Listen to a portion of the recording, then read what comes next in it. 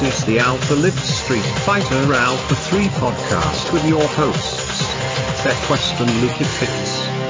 It's showtime! Hello and welcome to episode 9 of the Alpha Lives podcast. Uh, if you couldn't tell, that was my homage to the famous video introduction of today's guest. Now, this man needs no introduction, but I'll provide one anyway by reading a brief excerpt from his Twitter description. 68k YT, as in YouTube subs, experienced pro wrestling villain, British retro gaming god, delightfully devilish. And nothing could sum it up better. Um, and it's an absolute honor and privilege to welcome Richard, the creator of Top Hat Gaming Man, to the show. Now, over to you, the quest, to start the interview. Thanks, Luke. Welcome to the podcast, Richard. How are you? Yeah, I'm very well, thank you. Thank you for inviting me on. Yeah, thanks for coming. And thanks for waking up early to come on. yeah, not too bad. 11 o'clock, been up. I've got a son um, who's um, 19 months old, so I've already been up about five hours by this point anyway. Oh, that's You're not on the true gamer timetable anymore. no, sadly. Yeah, yeah. Um, like growing up, what was the first console you had? oh, that's an interesting question because I was actually um, gaming um, pre-console era in Europe back in the days where um, people were predominantly gaming on microcomputers. So um, I, I had an Amstrad CPC 464, which I inherited from my uncle. I believe he gave it to me when I was three years old. In terms of consoles, though, um, the first one I had in my house, I was my uncle's again, a very big um, gaming influence in my life. Um, it was a Super Nintendo. So Super Nintendo is what I started out on. Did you um have a favorite game on the SNES? In the early days, it was it happened to be Street Fighter 2, strangely enough. Wow. Um, when I was really young, uh, I must have been about I don't know six or seven years old. Um, he never used to actually let me play on the Super Nintendo. I used to just have to sit in his bedroom watching him play, like fantasizing about having a go on this sitting game. in, sitting like, in no, your uncle's bedroom fantasizing. It's a bit of a weird. yeah, Weird scenario. Come to think of it, but I would be desperate to get my hands on this console, and he would always be like, "It's too expensive. You're not allowed it." Wow, However, um, there was an event that occurred that changed all of that, and that Yeah. was when I started going around to one of my school friends' houses, um, playing a Sega Mega Drive, playing Sonic the Hedgehog. Oh, the dark. And yeah. So then I went home to my mother and was like, "Wow, my my um, my friend's got this amazing computer because we just called them computers at the time, and he's got these great games like Sonic and Streets of Rage. So I really want one." So um, my uncle was a little bit more tech savvy than my mother, so um, she went to my uncle. Should I get him a Mega Drive? It's like, no, don't get him that. that that's old tat. You want to get him a Super Nintendo? Here, he can borrow mine. So Yeah. from there, I ended up borrowing his, and I believe I had a copy of Street Fighter 2 on there um, Super Mario World and um, Starwing, which is obviously Star Fox to some parts of the world, and I absolutely fell in love with the system and gaming in general up until this day. So Yeah. in your early days of playing Street Fighter, did you have like a like friends or a brother to play against? Strangely enough, because my uncle there was only a 12 year age gap between us, um, I would Alright. play with him a lot, and I remember getting really, in, getting particularly angry with me at points where we didn't really know what we was doing, but I would like block him in the corner. He was like, "Stop blocking me in the corner! That's cheating!" and stuff like that. Uh, yeah. Um, did you play the Alpha games um uh, when you were a kid, or did you only play them recently? Ah, what's my story with Alpha? I first remember coming across it. We had a popular magazine in this country called Nintendo Magazine System, which I guess would be the equivalent of um, Nintendo Power Magazine. It was the Yep. official Nintendo mag in this country. Nintendo and, um, Magazine System. Yeah, it was called Nintendo Magazine Interesting System. name.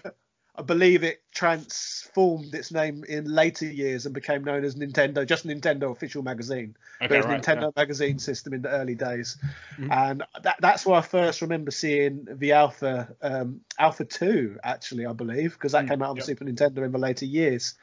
Um, I think I first probably played it on either the Sega Saturn or Sony PlayStation. I'm Mm. not really sure, um, but I've now got multiple copies. Like I've got a box copy on the Super Nintendo. I've played it against, uh, played it across different platforms. And uh, one story um, I was telling um, Quest actually Mm. uh, prior to this podcast was over in the United States. I attended an arcade convention in Oh, yeah. 2011, and I was having um, some fun playing the um, Alpha 3 cabinet they had there.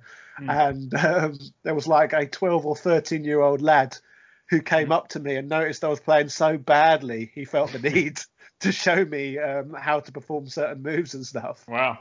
Yeah. Yeah. So that that's an interesting um link. Like I feel like most of us are coming from the more kind of competitive Street Fighter Oh, yeah, side. definitely. So Oh, it's really. It, sorry, you go. I was just saying that I've noticed from many of the comments I receive in my comment section that is definitely a big Yeah. demographic viewers. Yeah, so it's really it's really interesting and refreshing to see videos from more of the casual perspective of what people think about Street Fighter. Um, we'll get into your third strike video particularly a bit later because that's um yeah a lot of a lot of ground to cover there. But we But, came um, into into contact with you after you used some footage from our YouTube channel. Yeah. What did you and- What did you think of the channel? And was there any footage that stood out to you as a casual player? Um, well, for me, um, the reason why I selected footage from your channel because it was one of the only ones I could find with um, footage of uh, the characters who got included in. Was it one of the later iterations Yeah. of the game? So I believe it was Max, I think, Fei Long, yeah. the Super Yep. Street Fighter one. So Mhm. um, Fei Long, um, T Hawk, etc. DJ. Yep. Yep. So that was that's what drew me to your footage. Was you was the only people I could find who had caught decent footage of those characters in action. Yeah, okay, and you, who- oh, you and you specifically wanted those Alpha and max sort of extra characters in your Yeah, in your exactly. Yeah, yeah. I needed Yeah, I a good um, source. The Yeah. guy who made that footage is extremely proud of the fact that he's got some of the only footage out there of certain combos with those characters, and he's a real like fanboy of that um, specific version of the game. So he'll be very happy to hear you say that. That's that's amazing. Because, like I said, I, I don't consider myself um, a good enough player of Mm-hmm. the games to be able to use my own footage when it comes to um, Street Fighter titles. Mhm. I'm more into, um, like I said, the history of it and the legacy and the overall impact it's had on the gaming industry as a whole. Yeah. Yeah. So on the topic of Alpha 3 Max, I heard that you plan on making a video covering it. Is that true? Yeah, like my my long term goal is to pretty much make a standalone video on every single um, entry in the Wow. Street Fighter series, and maybe even long term the majority of fighting games. Yeah, Um, but- but- sorry, by every awesome. entry, do you also mean iteration? Like you're gonna do the Game Yes. Boy one? yes, yeah, there's, indeed. that's you got to watch the channel more, Quest. There's No, I, do- I do, but for, Right. for Alpha for Alpha 3 Max specifically, because I know they've got a Game Boy version, they've got a PSP version, they got yeah the all these, all these different ones. and that was that was it to me. I felt that the, the, the Max and the PSP version, um, where the PSP version and the GBA version of those games were too different to the versions that have come before it to just whack it all into one mm. video. I Yeah. felt that the handheld entries need separate videos down the line. Oh, Yeah. I look for, I look forward to those. You mentioned in your Alpha 3 vid that you prefer Alpha 3 to Alpha 2. Like, what are the things Yes. you liked about 3 more? Um, for me, um, it's just the huge um, roster selection you've got in Alpha 3. The fact that you've got all of the lovable characters from uh, the Street Fighter 2 series, all, all 17 of the main ones, and then you've got a load of other characters on top of that as well. Um, for, for me, um, coming in as such a big Street Fighter 2 fan, to have all of those characters plus a load more, um, I just thought that was great. So you, I, I saw in one of your videos you describe yourself as a lifetime collector, and you kind of mentioned it then.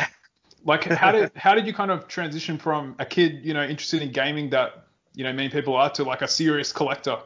it kind of happened organically. Um, So I was always into collecting things. Again, I had a lot of influence from my uncle thinking about it. Like because he was only 12 years older than me, I would get a lot of his old hand-me-down, hand-me-downs yeah. sometimes. Like I got his um, childhood Star Wars toys from 1977. Ah, wow, yep, that could be worth a lot these days, right?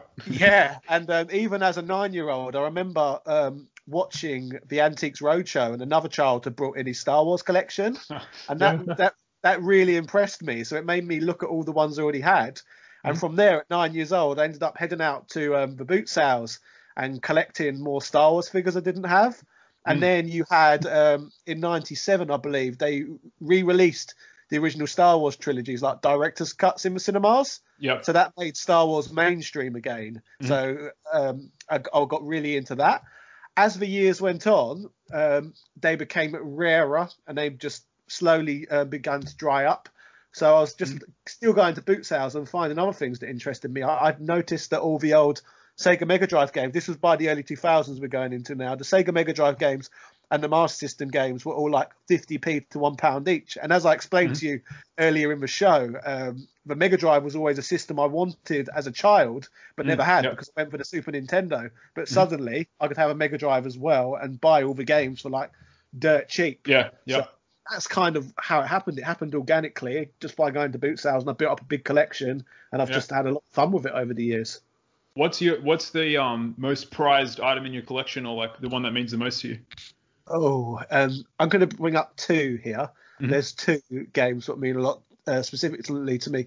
First is the PAL. I've got a PAL boxed copy of Mega Man X3 for the Super Mm-hmm. Oh, wow. Nintendo. Okay. Yep. And basically, um, the Mega Man series has always traditionally performed very badly sales wise in Europe because I, Yeah. I believe it got a foot. It's probably the same in Australia actually. It Mm-hmm. got a foothold in the market on the Nintendo Entertainment System in the US.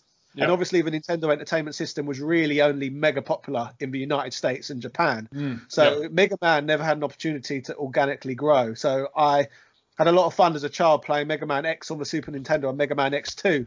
And Mega Man X3 was one of the system's late releases. So it was made Mm-hmm. in extremely limited quantity in, in a, a region where it already wasn't popular. Yeah, so yeah. it was a game I always looked for. And about 20 years after its release, I ended up paying quite a large sum Yeah. of money to add it to the collection because I just wanted it so badly. Mm-hmm. And the other game I'd like to bring up is um, I've got a boxed American copy of Earthbound. Oh um, wow, that's that's yeah. pretty rare, isn't it? Like Yeah, well, that's it's often brought up as a rare one. Yeah, and the reason why that one means uh, particularly a lot to me is because I actually purchased that one um, from my biggest wrestling payday. So uh, Ah. I had I had a short stint working for a company called TNA Wrestling in Yeah, America. yeah. Impact Really? Wrestling. Oh, I used to be a big fan that's- of um TNA. Oh, really? Yeah, yeah, that's crazy. So What- you wrestled with TNA. I had a really short contract with them in their prime um, on a show they were running called um, TNA British Boot Camp Season 2. They Yeah, pretty okay. much, mate, do you remember WWF Tough Enough in like 2001? yes, yes, I remember. Didn't um They- Rockstar Spud or somebody win Yeah, that? yeah. Rock, Rockstar Spud won season one of uh, British Boot Camp. I was in season two and was one of the 16 finalists. Oh, So- nice. what was so that like? it was it was surreal because I took up wrestling as a hobby uh, whilst I was at university in 2007, um, and this was in a time period where um, smaller guys like I'm only five foot ten um, Mhm. didn't really go anywhere, especially if he was from the UK. Like anyone who'd been exported from the UK previously, like uh, the British Bulldog or William Yeah. Regal, for example, were giants. So as um, a small British wrestler, I never foresaw myself doing anything of impact, to excuse the pun. Yeah. So um, to do that, it, it was great, and um, in some ways, it's I'm a bit um, regretful that I didn't pursue wrestling more seriously when I was younger to be in even better condition um, when I did all that, because obviously I never foresaw a time where um, smaller wrestlers would be more valued like they are today. yeah. so. I was competing in a land of giants um, in the what, early days. what was your kind of persona as a wrestler? Like you said before, or in that introduction that I read out, said that you were like a villain kind of archetype. Like, is that was that what you were on the show? you can look it in you can look it up on YouTube. There's old matches. Um, Oh, I yeah. wrestled under the persona of um, Richard Parliament, and Okay. pretty much Richard Yep. Richard Parliament was um, a politician, but the character and the Top Hat Gaming Man are one of the same. They even dress the same. Oh, Yep. So it was What a kind of a, a really smooth. It was. It was a crossover show. It was a smooth transition. And Yeah. in 2016, I was um, wrestling really regularly and running the YouTube channel side by side simultaneously. So it's kind of like a wrestling side project. Did you have a favorite like UK wrestler? Uh, I was always a big fan of um, William Regal growing up, so I definitely took some influence from him. Yeah, same. I liked his um villain role that he played. Yeah, so I guess I he got some of that that villainous kind of um you know above everyone else sort of character. Yeah, the snobbery, and I thought the snobbery as well transitioned perfectly into the channel in the early days. Uh, because, like again, like the fighting game community, which we can get onto a little later, uh, Yeah. the collecting community, retro game collecting community, can be very elitist. So um, I thought it was quite amusing to parody such a character of that like, had- this elitist collector.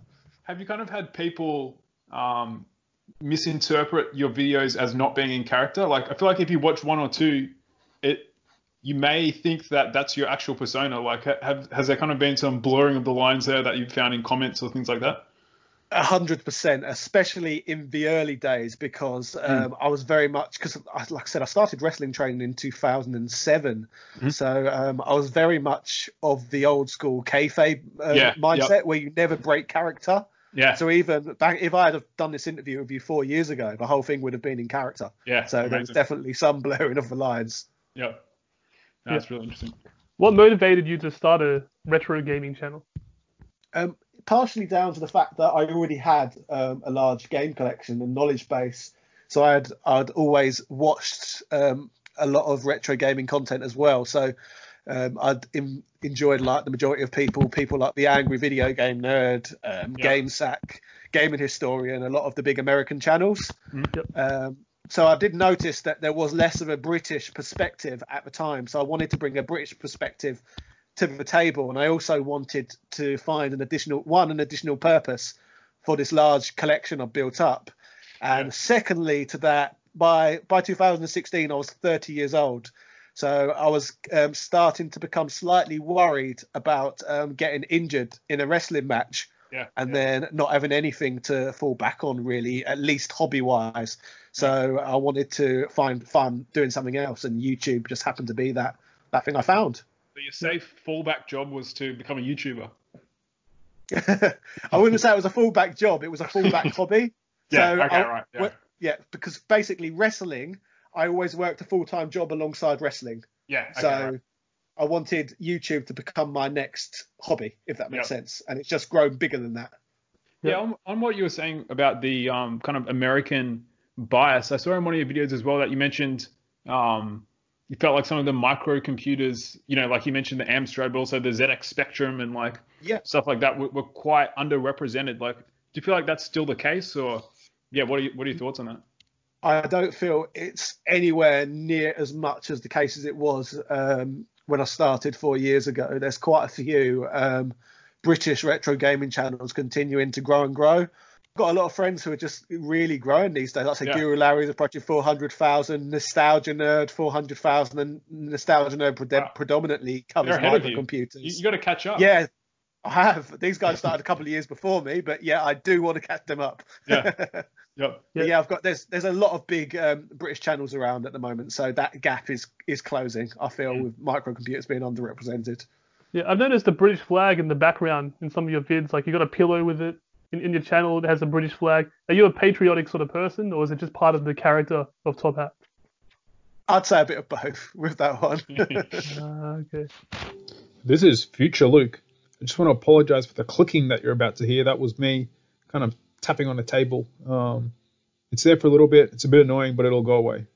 Uh, back to the podcast. Look, I want to get into some of the YouTube game. So I, I really admire your YouTube craft. So some of your titles are amazing. So one of my favorites, the Mad His, and the caps are very important. The Mad History of X-Men versus Street Fighter and why it outraged people! Exclamation mark! Question mark! Rare gaming history. That, that's just clickbait gold. And also, you're very good with the um with the thumbnails, you know, the titles, the kind of social media. Like, how what what's your thought process with that kind of stuff? Is that an important part of your your channel? Um, one second. Sorry, I can hear clicking. Is that me or you? Oh, that might be me. Sorry. Okay, so no, no worries. Um, yeah, um, the aim is generally when I come up with a video, first of all, I think of a game I want to cover. Yeah. But apart from that, then I have to find a good hook to go alongside it. Yeah. So um, I research the game and then I find what's perhaps the most interesting element of the game or something what people might not necessarily know about. So with um, the X-Men versus Street Fighter game, for example, the main hook I found was um, the disappointment um, with the PlayStation conversion of the game. yeah. Okay. So that's yeah. So that's pretty much how that works. And then, do you make all the thumbnails and like post it and everything? You don't have some like a social media manager or something like that? No, I do. I literally do everything, everything myself. Yeah. Oh, classic, classic YouTube. Yeah. Um, but I want to get into maybe my favorite video of yours. So a bit of context on this. We we mainly play Alpha 3 and Street Fighter 2, and that we have a bit of a kind of healthy rivalry with the Third Strike players in Australia. um, Yeah. So I think we're, we've definitely got a common enemy there. Well, maybe not enemy, but Yeah. you made a you made a 40 minute video called "The Mad Story of Street Fighter 3" and its delusional, toxic fandom, rare gaming history. So I love that title. Um, and I, I got some quotes from it just for people who haven't seen it. Some people love this game so much that they simply refuse to accept facts that the game was not as popular as others. This is the sort of idiocy I deal with sometimes. Um, do you have Do you have anything to say to the Australian Third Strike community that that might be listening to this? I think like any community, like I said, you've got you've got the elitist, elitists there, Mm. and um, again, people who refuse to accept facts. Um, Street Fighter Three, as great as the series is, it did at the time um, not sell very well in comparison to Street Fighter Two Yeah, yeah. previously. So, um, and the mass market appeal on the game is seriously lacking. Like by the time Street Fighter 4 came out, um, a lot of people was like, "What about Street Fighter 3? I don't ever recall there being a Street Fighter 3. Do they Yeah. mean Street Fighter Alpha 3?" Yeah. So yeah. that confused a lot of people. So the whole point was when I made the original Street Fighter 3 video, not the one about the fandom, when I made the original Street Fighter 3 video, Mhm. the whole video was about why do the mainstream market sorry why aren't the mainstream market aware of street fighter 3 and why was it so overlooked at the time? And there were so many different reasons why that happened to be the case um, but then that video obviously seemed to outrage a lot of people because they'd never seen someone upload a video on um, Street Fighter 3 before in a negative context, if that makes Yeah, sense. Even yeah, though there was yeah. nothing negative about the game, it was all Yeah. more about the negative marketing of the game and the Mm. appeal. Yep. Yep. I get you. I um, might not be remembering correctly, but we had a conversation before about your um, auntie and uncle. They owned a pub Yes. and they had arcade Yes. games. What was that like? So my mother had a brother and a sister. Um, the brother was the uncle I was talking about before, and she also had a sister who, Yep. and her and her husband in the 90s were pub landlords. So Okay. um, they, Yep. they would And run land, pubs. landlady, landlord, and lady. Yes, exactly.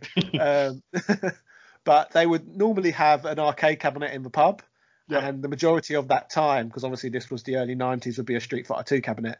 So um, obviously Of course, after because it's so much more popular than Third Strike, as everybody knows. oh yeah, I, I've, I don't think I've ever seen a, a Street Fighter 3 cabinet in this country ever. Yeah. Yeah. But uh, the Street Fighter 2 cabinet, I would actually get to play like after hours when the pub was closed and before it was opened and stuff, which I always thought was really cool. Just being able to sit in a pub alone playing Street Fighter 2 in its Yeah. heyday. That's Oh, I nice. think that's cool. Did they get you like That's- free food and drinks and stuff? Um, they they were landlords, but on the basis that they never actually owned the pubs they they um, they run. So they would manage pubs on behalf of corporate chains. So Ah, okay. I wouldn't actually get any freebies there, sadly. Ah, okay, fair enough. Um, you're currently showing beat 'em up games. Are there any in Yes. particular you're looking forward to covering? Um, I feel like I'm slowly getting through the majority of the ones I was really keen to cover. So I'm looking forward to switching paradigms with regards to that soon. But ones I'm still really keen to cover, which I've not got to yet, but I will do very shortly, is uh, the Simpsons arcade game. I'm very keen to make a video on that. And more Yeah. importantly, um, the 8-bit um, home computer ports, which people don't seem to know exist because apparently it, um, Simpsons was always a game what was locked to the arcades, which simply isn't true. It just was not on the um, Super Nintendo or Mega Drive, but it was on home computers. So I'm looking forward to doing that. Wow. Um So that was an officially licensed, like, Yeah. Like, I, I didn't. Yeah. Yeah. You're correct And, uh, that nobody knows about it. yeah, so there's a couple of different ports of that I want to cover, yeah. Wow. and I, I'm keen to start getting through uh, the Double Dragon series as well, actually, because I've Oh, not yeah. even touched that properly yet. So those are some big ones I want to do. what are you going to do if you run out of fighting games or beat 'em ups? Is that possible that you can get through every single game? Uh, fighting games, I think it's going to be very difficult. And if I wanted to stay um, doing fighting games after I've covered every game, which I can't see happening anyway, I could start doing um, more history on the actual fighting game community, or I could start doing lore videos on like individual characters. Yeah. Um, yeah. Or perhaps when you finish like covering all the games, the new games now will be retro games by then, and you'll Yeah, have more yeah. to cover. Absolutely correct. We've also got, with terms in terms of the beat 'em ups as well. I, I do want to drift away from them soon. Cause like I said, I feel like I've nearly covered all the ones I, I'd like to cover, and I'd like to move on to other genres like run and gun, platforming, stuff like that. So I like to go really deep on particular subjects because then it becomes really easy to compare and contrast one game against the other, if that makes sense. Yep. Yep. How do you So- play these games? Do you do you play them on like arcade emulators and that type of thing? Or? Um, I've got a Raspberry Pi, and that's generally how I tend to play a lot Okay, of beat 'em ups. Yep. Yeah. You said you had an in-person encounter before, like with someone that was a 12, 12 year old, and they'll they'll try and Yeah. tell you how to play the game. Have you had a Yeah.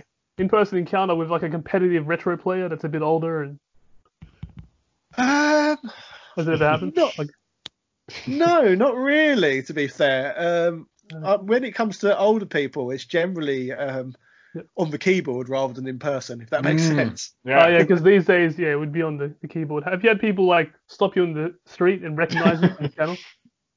The weirdest one, actually, I, I believe it's only happened once away from conventions, and it was actually in your country, over in Australia. Really?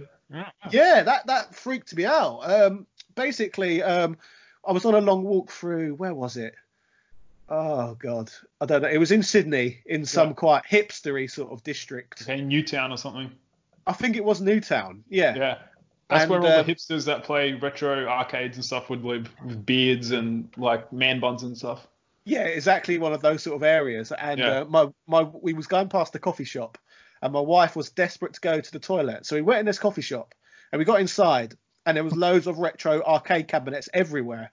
Yeah. Wow. And I I just ordered a drink whilst my wife went to the toilet, and the man behind the counter was like, "Wow, you, you're the top hat gaming man." That's awesome. And I was like, wow, yeah, yeah, I am. And this was, bear in mind, I was in Australia three years ago, so I only had 6,000 subscribers. So that made it even more baffling. Yeah, well, And, people in um, Australia have fine taste in YouTubers, obviously. Yeah. But it turned out what made it even stranger was that apart from that he he apart from the fact that he knew who I was, he also had a mutual friend um, Yeah. of mine who who I knew from wrestling. One of my wrestling opponents was his friend in real life. Wow. So so yeah, it was really odd going to the complete opposite side of the planet to find yeah. someone who watched my YouTube channel and had mutual friends yeah, randomly. Yeah. So, What are yeah. some of your, your favorite conventions that you've been to? Um, I do basically that. There's this convention um, in England known as Play Expos, and they run like Blackpool, Manchester, um, London, and um, Margate, and a few other areas. And I tend to do panels these days at most of theirs, so I really enjoy their ones. Yeah, that'd be fun meeting all the fans. Um, yeah, it's quality, and I you get know- to meet and Yeah. work with other YouTubers as well, which is always fun. Oh, that's Mm. good. Yeah, collaborating. Like you're collaborating with us today. Yeah, exactly. Are you having a lot of fun? yeah, it's great. It's good. That's- that's- Especially during lockdown, where I don't get to see people. Yeah. Yeah, true. You're going to get a huge subscriber bump from this. There's probably at least, you know, 10 or 15 sold listeners to this podcast. Oh, that'd be awesome. And so, um, you know. basic, I will post this video as well in um, what's it called? In my, com- I'll put it in the community section or something. Oh, so cool. you should get some uh, kickback from this. I hope. Yeah, that'd yeah, be that, amazing. that'd be awesome. Um, more people looking at Alpha 3 would be great. And obviously listening to our beautiful voices. Yeah. Um, you said you traveled around the world and you did Yep. some gaming. Was it for gaming or was it just to travel? Um, basically, this all goes back to when I was 30 again. I, I, mentioned I wanted to change um, elements of my life. So um, that it was the same year I started the YouTube channel, Mhm. and um, I was due a um, basically where you update your mortgage on your house, and uh, where it had gone up in value, um, I noticed that I could take out a chunk of money. Um, at first, I wanted to buy an additional property to rent out. But then the UK brought in some stupid law where you have to pay really high taxes and stamp duty if you own more than one property. So Yeah, I, th- I thought that idea's out the window. But I've always wanted to travel, so Mm-hmm. I thought now's as good as any really to take the opportunity. Yep. So um, took out some some money from my property and um, went travelling for a year. So went to went to Australia for a month. Mhm. Um, did the US for three months, uh, visited Mhm. 25 different states Wow, that's Uh, intense. spent a month up in Canada, um, a couple of months over in Greece, um, Hungary? a month in, month in Cambodia, a month in Thailand. Um, now later on, since I've become a, a full-time YouTuber and I'm working on a laptop all the time, that's when I've been able to visit other countries. So Hungary, prior to Yeah. lockdown, that's where I was spending some time because now Yeah, obviously okay. I'm I'm working online permanently. Um, I don't need one solid base, so that's why I can I can travel when I like now. There's the That's perks of being a YouTuber. Yeah. So that is that that's presumably where you filmed the handhelds around the world series. That's Um, yeah, that's where it started on that trip. Where how did I, f- I find that a really interesting series in that it kind of combines it's it's like a travel cooking show, but it's like a travel gaming show. Um, like yeah, that I, I really like that format. Are you going to continue to do handhelds around the world, or kind of what's the status of that um that series? Um, so yeah, basically, when I was in Hungary, I, I shot loads of footage. So I've actually got um, three more episodes um, Yeah, right. already made, ready to upload to the channel. Mhm. And um, when lockdown ends, I hope to continue to do um, trips, filming more episodes in different countries. So Mm-hmm. Yeah. yeah. it's definitely a big part of the channel. And again, it's something what came apart circumstantially at first, where I was doing the the gaming reviews on my channel in 2016 and then six months into my channel's lifespan that was when i went away so i needed to think of something new what would let me carry on doing what i was doing and that was Yeah. handhelds around the world Yeah, that's amazing. When did when did it start to take off? Like, what was the moment when you're like, wow, this is actually starting to get a bit of a following, or, um, yeah, really get some traction?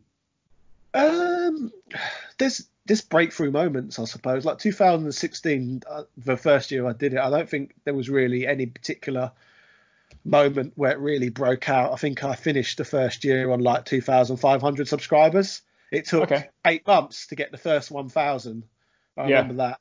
And then it was the second year um when i started covering um doing like in-depth retrospectives of different pieces of hardware so it was the mm-hmm. Yep. hardware videos what really first started getting views. So when I was on, especially when I was covering more ex- obscure systems, like making half-hour videos on platforms like the, the Panasonic 3DO and stuff like that. Yeah, stuff, stuff that people would be searching for that that would not be covered in detail anywhere else, I guess. Yeah, exactly. And that's kind of why the fighting game series has worked really well because you've got lots of fighting game videos out there focusing on uh, the community aspect, but there's not many out there focusing on like the commercial aspect of like the game's commercial successes, their impact on the mass markets and um, stuff like that. Yeah, that's true. I think that's why the Third Strike video like annoyed so many people is that in the Street Fighter community, like people that still play the classic games, it's it's up there as probably the most played or second most played of the like real retro Street Fighter games. So people just it's antithetical to their worldview to see that you know amongst the more casual players it wasn't kind of the biggest game ever. Um, so yeah, it's it's really Yeah. interesting seeing that split between the FGC as it's known and the um you know the rest of the world. It's kind of like how Earthbound would be to like a um, hardcore Nintendo fan compared Yeah. to a member of the casual market, I suppose. Yep, yep. That's your first video on your channel, right? Earthbound. Yeah, yeah, and that was partially because I was I was so proud of owning that copy, which I bought Yeah. using my TNA money. Okay, yeah. It's a tax um it's a tax write off. If you use it in a video, it's tax deductible. that, yeah, it is these days. Yeah. okay, interesting. One one of the secrets of YouTube, I guess. What is the most challenging part of making content? um, what's the most challenging part? It, it does vary, really.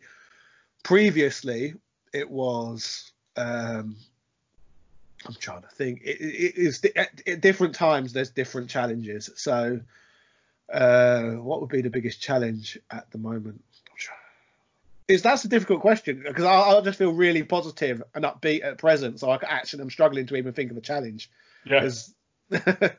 but there, there are definitely a lot of challenges. I'd say the, the, the biggest challenges are in the early days when you're trying to get that ball rolling, and the longer you're generally making videos, uh, the easier it is to create content that gets hits. I'd say one of the hardest parts I find, well, what I scrutinize myself the most with these days, is when I make thumbnails for videos.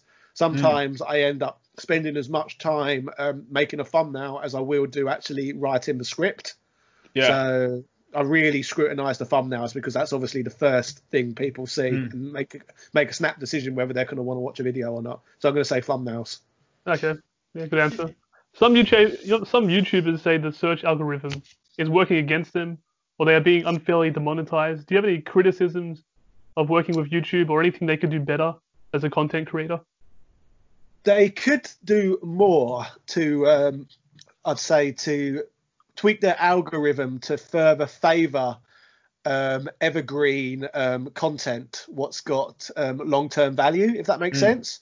Yeah. For example, I make videos which people can watch on the day they're released, and then a few months later they'll be just as relevant, or hopefully even years later. Mhm. Whereas other people will get just as many views just uploading a video um, on a new Nintendo Switch game being announced today and stuff like that. Yeah. Whereas those videos hold no long-term value; they're valuable for one day.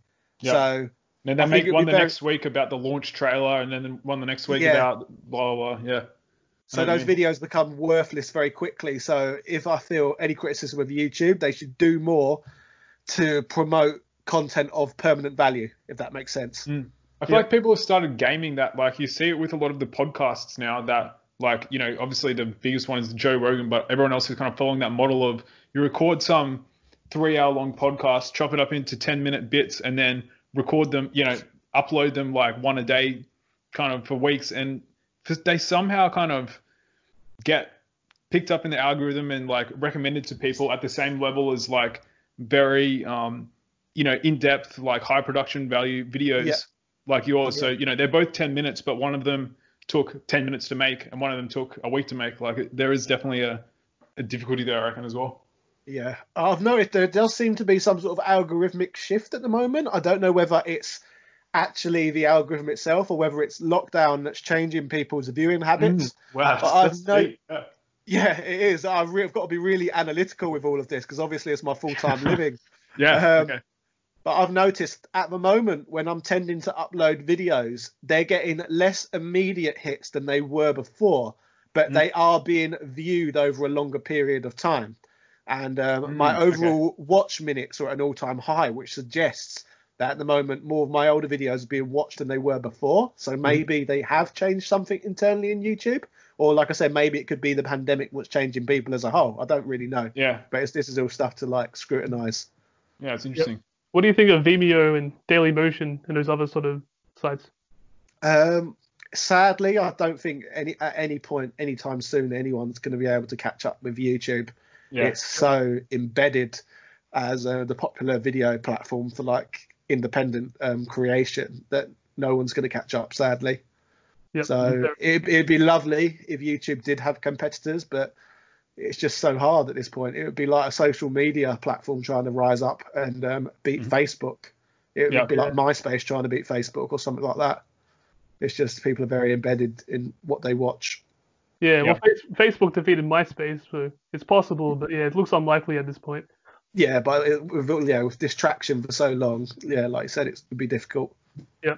Before this podcast, I spoke to you about your top hat, and you said your original top hat, you actually gave it away to somebody. What was the Yeah. story behind that? Mm, wow Um, yeah, basically, a friend of mine ran um, a charity um, prize draw. So he, he found a load of um, YouTubers with subscriber bases and um, asked them if they would donate this and they would donate that. Um, so he just asked me if I would was willing to donate um, a top hat. I think it was for the charity Mind, I think, uh, mental health. So I literally gave him the top hat and um, someone won it in a prize draw. So unlucky them.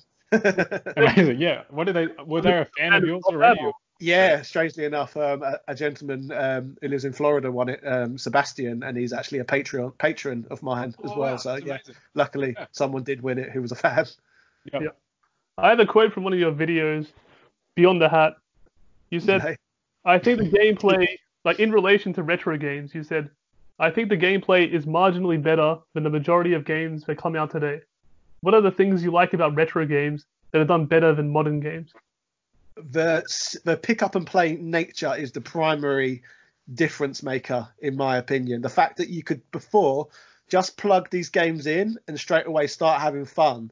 Whereas the way they seem to be engineered these days, before you can even play the game, you often have to sit through hours of time wasting and tutorial to even be able to start sinking your teeth in. Um, developers these days expect you to invest a hell of a lot of time into a game before you get anywhere, um, and that's it's been that way for quite some time. Like um, during lockdown, for example, at the moment I've been playing um, Persona 4. Not exactly a modern game, but it's it's modern to me. It's about 12 Yeah. years old, um, and so far I've spent like 55 hours on that game.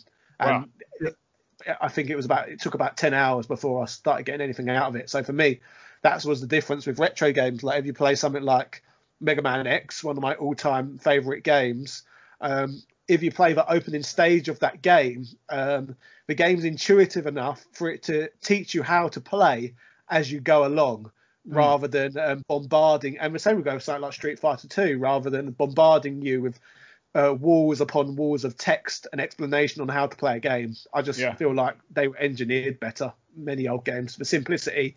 Um, less is more. That's a good way of putting it. Yeah, it's really interesting. I heard I heard a theory about why that's the case that currently developers um like can't make enough money off just the initial point of sale, but they also have to make money from DLC and like trying to convince people to like um, do microtransactions and stuff. So they want people to keep playing their game as long as possible. It's not just like a one one buy. You know, as soon as you've sold the fifty dollars or twenty five pence, not pence, pounds. Well, Um, yeah, the not it, games you know. today are, yeah, the games are getting bigger and bigger each Yeah. day. So um, obviously, the bigger they get, um, the production costs are continuing to go up. But Yeah. if the bizarre thing is, if you go to a shop today and you buy a brand new game, you're Mm-hmm. paying less for it than I would have been um, going to Electronic Boutique in 1992 and buying a game, which Mm. Yeah. is just ridiculous considering Yeah. the production cost differences. yeah, th- thousands of people working on it. Whereas some of the credits for Street Fighter 2 has like eight people on it. Like Exactly. it's joke. yeah. It's it's amazing. and that they created a game, as you say, that's so easy to pick up, but has depth such that people are still playing it. You know, 25, 30 years later. Oh yeah, one one other thing I was going to bring up. I saw. So you mentioned that it's kind of. Is it? It's basically a full time job for for you now. YouTube, is that correct? Yep, that's correct. I noticed you're you're getting into the merch game. So kind of Just about, yeah. bit of a bit of a budding Jake Paul or um you know one of these guys. So you you got shirts, jumpers, singlets, bags. Yeah. What what's next in the Top Hat Gaming Man line? Maybe top hats. Um, I've had a lot of um, pressure from my audience. I think that's because they would think it'd be funny. Um, they want Yeah. um, top. They want top hat gaming underwear, so I might look into that down the line. Wow. Okay. I And another thing, this is- that kind of um that kind of entertainer. Something else I would like to produce as well. Just I don't know whether I, that's because I think it'd be funny, but it's retro and I think people might want it. I'm tempted to sell um, Top Hat Gamer Man VHS tapes. So Oh, episodes yeah. on VHS. I think that'd be quite amusing. Yeah, the full Streets of Rage saga on a two VHS um Yeah. collection. That'd be awesome. For your next um Beyond the Hat episode, do you have any ideas at the moment what you want to do for it? Because I found that pretty interesting to watch. Beyond the Hat was a strange one. I made that. Um, when did I produce that? About four months ago, and sadly, um, like looking at the watch retention and um, the the overall views, it wa- it wasn't as popular as anything else I was producing, which I was putting down to the fact that um, if someone subscribes to a channel, they uh, usually subscribe for very specific content, so the documentary style content. So um, I axed Beyond the Hat pretty quickly because I wasn't sure what it was doing to my channel. But I am about to bring it back on the basis that now my YouTube channel is heavily Patreon funded. So I'm going to make it a Patreon only show um, for the people over on that platform. Yeah, That's that makes cool. sense. Is there any extra things that the Patreon people get? Uh, yeah, they get they get. Well, I like to think I give them quite a lot of stuff. Um, they get episodes of handhelds around the world um, one month before anyone else. Mm. Um, they get all of the content um, advertisement free. Um, they get all the videos at least um, one day uh, before everyone else. Um, a- access to my um, Patreon Discord, and um, they also vote on the majority of my uploads now. So most of the videos I've been putting out at the moment have been chosen by the patrons. Oh, Wow. nice. Okay. What what was your most requested um upload? Um, I'm going to click my channel quickly. That's and then I will know. There you go for. Like, what got the most votes? YouTube Probably third strike. the sequel Oh, video. well, it was um Yeah. Turtle, Turtles Tournament Fighters. Oh, really? Yeah, a lot of people that's wanted got a to see huge that. following. I never. would've- Yeah, and never actually, would've it's, it's, it's also in the last couple of months, it's been my most viewed video, 65,000 views in three weeks. So what? Oh, I gotta get. I gotta. I'm not. I'm not hip to this. I gotta. Um. Gotta find out about this game. it's a Street Fighter 2 clone, basically, with the turtles. Yeah. Okay. And it's three three different versions of it, which all play quite differently. I got. I got one more question. Unless we've got some more quests. What like? What do you think is the fascination with retro gaming? Like, how? What do you put that down to? It seems like it's really big in just the cultural milieu at the moment. That lots of people into retro games. Like, do you think it's the nostalgia factor or? the mainstream seem to put it down to nostalgia because um, in their mind, if it's old, um, it's got to be nostalgia. People are just um, wanting to play these old games um, to remember a different time. But um, personally, I think that's potentially wrong. Maybe if you're somebody who's going to go out there and buy a Super Nintendo um, Mini Classic Edition or something like that, and just Yeah. uh, buy it for the sake of it and just play the games once, then yeah, you're bu- probably buying it for nostalgia. Yeah. But people like myself who have walls and walls of games, I Yeah. like I said, I think it's mostly down to um, the paradigm shift that's happened in gaming over the years, where you're getting such a Mm. different experience from these older games than newer games. Like I find myself often playing um, old games I've never played before, so that's certainly not nostalgia Mm, because they're new yeah. experiences. I'm going to play um, games of that archetype, if that makes sense. And I think it's people wanting something more simple. In fact, I can bring this back round to um, Street Fighter 3 again. Yeah. Um, or what what was that game? What was it called? Street um, Capcom Fighting Evolution? yeah. the um, one that no one really nobody played. yeah, it was by that point um, that Capcom basically pretty much pulled the plug on fighting games and just thought Mm. these these are old hat. People aren't interested in them anymore. Yeah. Until But Street was- Fighter 4 famously kind of re- Ah, yeah, re- reinvigorated the the market. yeah, but the actual reinvigoration just started just before that actually, Mhm. um, and the reinvigoration started with a re-release of Street Fighter 2 on the Xbox um, Mm. Live Arcade. It performed um, way better than Capcom expected, and because of how popular that was, that's what got um, Inafune um, clamoring um, for Capcom to produce um, a Street Fighter 4. And so basically, um, Street Fighter 2 it saved the arcade industry um, back Yep. in 1991, and then in like the mid 2000s, The second coming. The fight. Yeah, it saved the fighting game industry, so it saved two industries in two different decades. Like that's a special game. So my last question is, who is your favorite Alpha 3 character? Alpha 3 character. Um, across all the games, I've always had, for some reason, a soft spot for Bison. Uh, perhaps because he was the final boss in the original versions of Street Fighter 2. Mm. So as a That child, villain- I always looked at him as the yeah, um, persona. yeah, yeah. I'm drawn to villains. Do you think um Top Hat is more evil than Bison, or do you think Bison is more evil than Top Hat? That's a good question. Probably make a good team. yeah, true. Cool. We might wrap it up there. Thanks again for coming on. We really appreciate it. Yeah, that was a good fun chat. I enjoyed that. Cool. Signing off.